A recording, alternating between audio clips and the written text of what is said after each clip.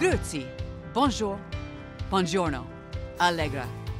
I'm Suzi LeVine, and I am honored that President Obama has asked me to serve as the next U.S. ambassador to Switzerland and Liechtenstein.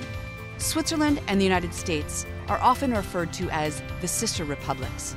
Like Switzerland, many states in America have a blend of direct and representative democracy, including my home state of Washington. That's why I understand the citizens' critical role in determining our governance. It's also why I will make it a priority to engage you, the people of Switzerland and Liechtenstein, and your governments to work together on our shared priorities of security, development, and prosperity. Recently, the Smithsonian National Air and Space Museum hosted Switzerland's Solar Impulse team, reflecting our country's respective beliefs in the transformative power of technology, innovation, and social responsibility.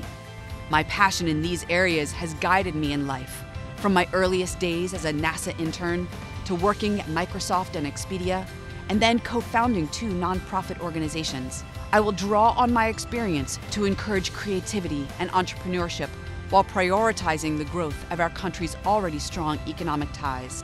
On a personal note, my husband Eric, our kids Sydney and Talia, our dog Vegas, and I are all very excited about moving to Switzerland. And as avid hikers and bikers, we would love your thoughts on places to visit.